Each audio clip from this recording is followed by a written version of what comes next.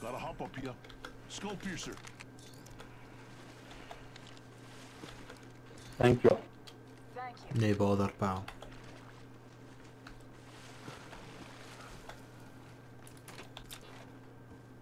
Can you speak English?